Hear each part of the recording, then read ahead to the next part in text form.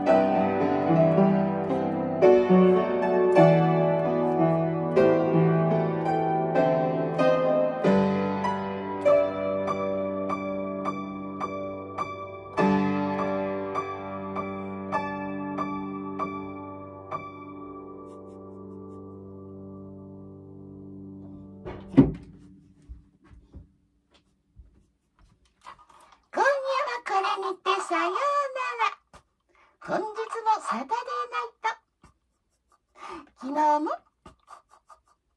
おとといもいろいろ弾いておりますが、藤井風子いつも絶好調でございます。皆さん、とっても、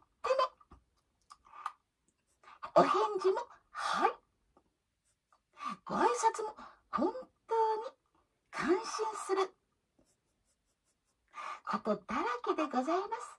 きっと指導者の方は、ご挨拶にマナーもちゃんと指導されておられると思います。先生もちゃんと聞いたことは書くようにし、常に前向きに邁進しております。それではまた明日も乞うご期待くださいな。藤井風子グレースでございました。さよう